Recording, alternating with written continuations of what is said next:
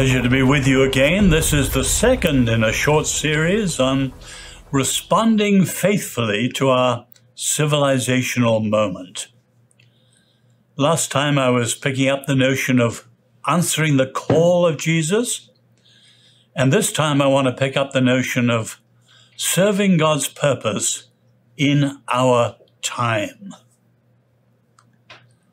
I was prompted to think about this some years ago when I was returning from Brussels to London on the Eurostar.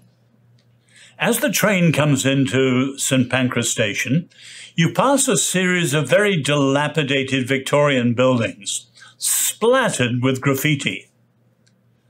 And on one of them, you can see this. You only live once, and it doesn't last. So live it up, drink it down, laugh it off, burn it at both ends. You can't take it with you. You only live once.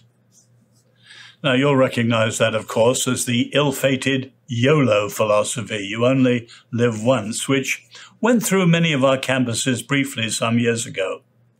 It's a kind of bastard version of Epicurus eat, drink, and be merry, for tomorrow we die.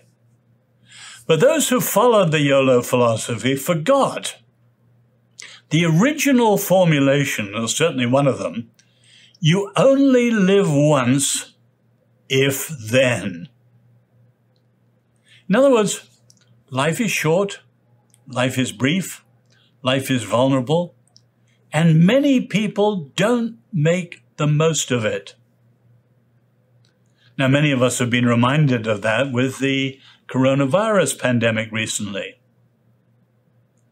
Everybody knows the opening verses of Ecclesiastes vanity of vanities, all is vanity.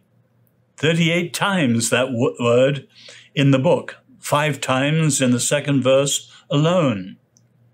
But actually, the Hebrew is not vanity in the sense of futility, meaninglessness, and so on.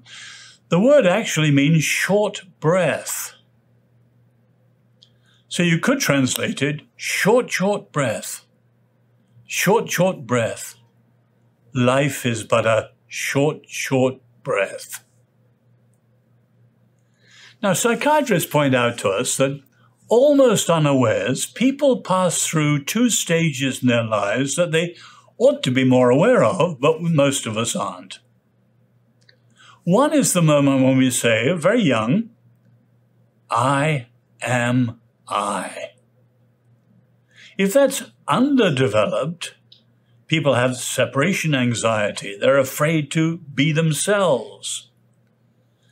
If that's overdeveloped, you have narcissists. I am I and who but I?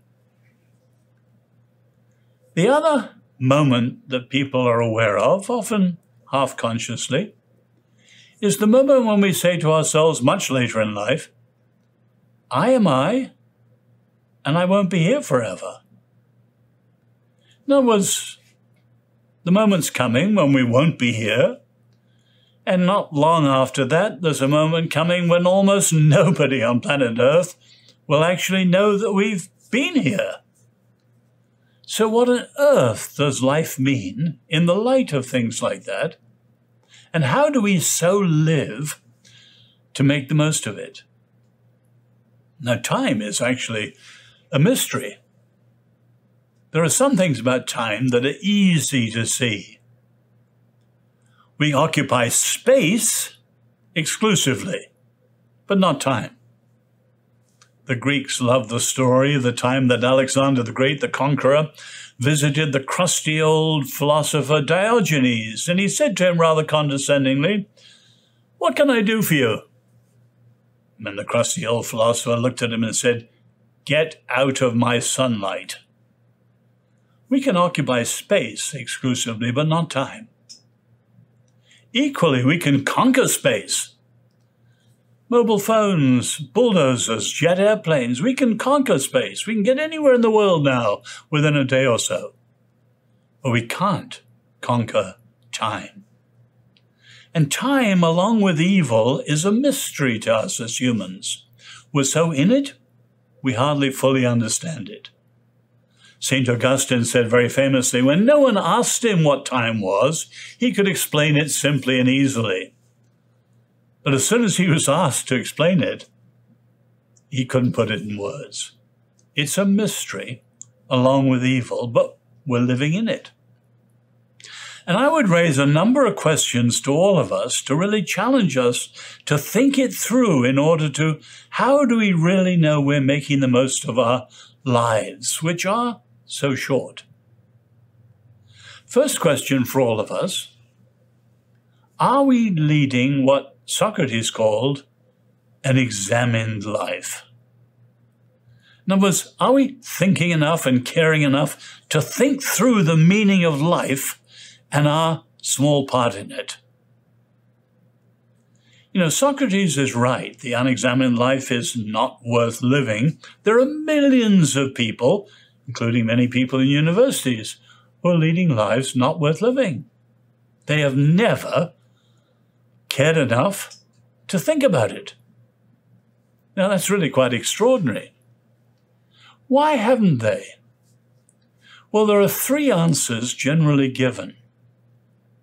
One is what Blaise Pascal, the great Christian philosopher, physicist, scientist, and so on, what Pascal called diversion.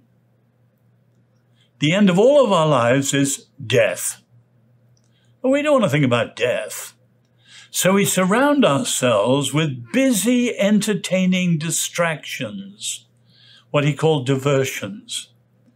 And then if we have enough diversions, we really don't have to think. We can put off the whole notion.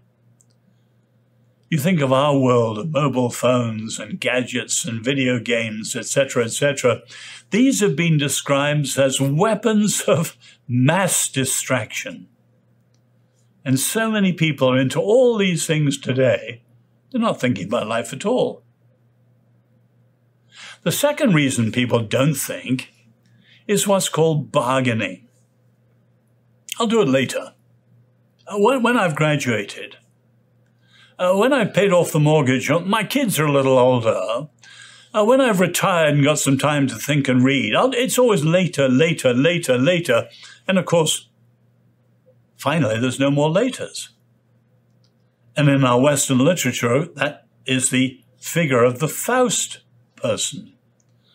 The person who wants to bargain eventually wants more experience, more knowledge, more power. And so they bargain their souls with the devil, get a little more time.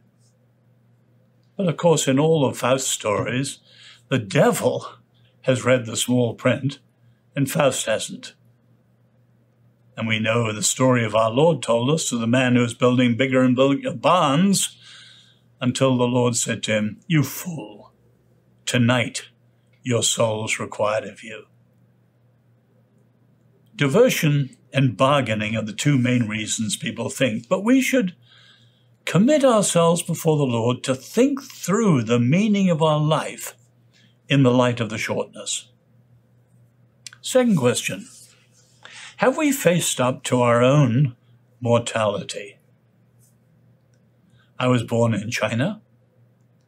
At one stage, when I was very young, we were caught in a famine between three armies.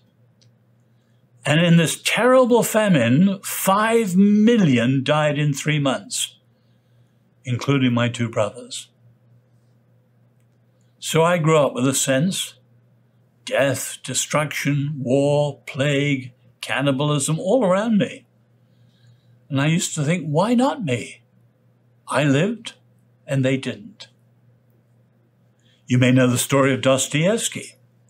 He was a member of a dissident group arrested by the Tsar in the 1840s, put in jail for a year in the fortress of St. Paul and St. Peter, and then condemned to death tied to a post, blindfolded. The drums rolled, and he thought the shots would ring out. And the Tsar gave him mercy. Not as an act of mercy, but as an act of psychological terror. And all his life he lived in the light of how close he'd been to death. His great contemporary, Leo Tolstoy, very, very different. Enormously wealthy. The best known writer in the world. 14 children, happily married. But then he began to realize what the end of life would mean.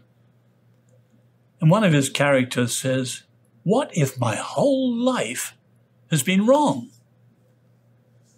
And Tolstoy himself writes in his diary, What meaning is there in my life that will outlast the inevitability of my death? Or take a third question. Do we appreciate the difference between our resume self and our eulogy self? I'm using David Brooks's terms. You may know the story of uh, Alfred Nobel, after whom we name the Peace Prizes and the literary prizes and so on. In the late 19th century, he was in South Africa, and to his horror, he opened his newspaper and read his own obituary. Newspaper had actually got it wrong. It was his brother Ludwig who died, but he read, The merchant of death is dead. The man who made his fortune, it was through gunpowder, knowing how to kill more people faster than ever before, died yesterday. And he read what people thought of him. And he was so horrified by it, he changed the rest of his life and eventually left more than 90% of his fortune, to what we know, as the Nobel Prizes. But let me go on to a fourth and far more important question than these. Are we living with the full richness of the biblical view of time? Time is one of these areas where the Bible, for us who are Jews and Christians, is so different from the other faiths and philosophies around us. The big three are these you have the Eastern religions, Buddhism, Hinduism, you have the secularist worldviews, and you have the Bible. And what are the three views they give us? Well, the Eastern view, in one word, is cyclical.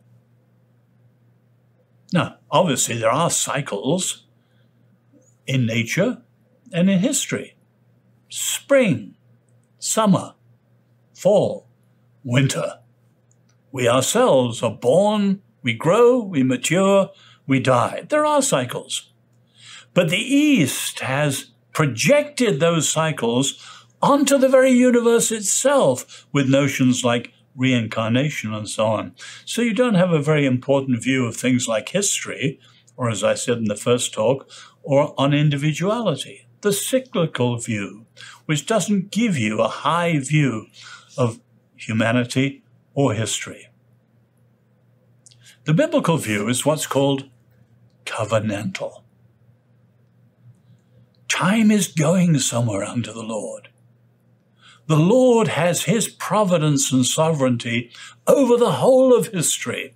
And as we come to know him, we become, as it were, what C.S. Lewis calls sub-creators, not creators, but sub-creators. We are junior partners. And with trust and obedience acting into the world in a hundred different ways, we're serving God's purpose in our generation. And that's why it's called the covenantal view of history. The third view is the atheist view or the secularist view, which is simply called chronological. There's no significance in history or time. If you want significance, you've got to do it yourself, as I said last time. All you have is the chronological time tick tock, tick tock, tick tock. You have writers like Samuel Beckett, who saw that that view of time just cuts us into a thousand shreds. One of his plays, you have an old man, Krapp's last tape. He's listening to tapes when he was in his 20s and 30s, and now he's in his 60s, and time has just shattered him in a hundred fragments. There's no continuity, there's no identity. He is only who he is in that second of time. Compare that with the richness of the biblical view. time has meaning because history is going somewhere under our Lord. Freedom means that the future is never fixed or determined by the past. Have you ever thought of the wonderful link between forgiveness and freedom? Unlike karma or modern views of determinism, things we've done under the Lord can be forgiven so the past is gone. And the future is opened up as a future of freedom and a second chance. Or you can say again that for us, life may be incomplete, but it's never meaningless. Moses was called to lead his people to the promised land. He never made it and just saw it from the mountaintop across the river. But what we see in chapters like Hebrews 11 is that those who live by faith, we're acting into history, but we're looking over the edge of history beyond our lives, and we can see beyond the horizon by faith. And Hebrews says that God is not ashamed of people who have vision and live by faith like that, and He has a city prepared for them. So, yes, we'll face setbacks, disappointments, life may be incomplete. There are things we each long to do, would love to see, and we may not have the privilege of seeing in our lives if they're cut short. But by faith, trusting and obeying and looking over the edge of history and looking to our Lord, even what's incomplete to us one day will be completely fulfilled. I love the biblical view of time because you can see if you start to think of your notion of calling and then add to it the biblical view of time. For example, the men of David in 1 Chronicles who were skilled in reading the signs of the times to know what course Israel should follow. They weren't just pundits able to comment brilliantly on this and that. No, they read the signs of the times to know what they should be doing.